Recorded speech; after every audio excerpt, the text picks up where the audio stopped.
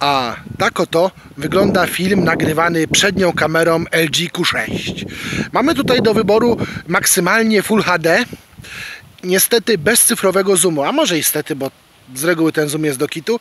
Jest natomiast opcja przełączenia się pomiędzy widokiem szerokokątnym, który mamy teraz, a widokiem klasycznym. Ja spróbuję go teraz przełączyć. O, widzicie jak to się zmienia?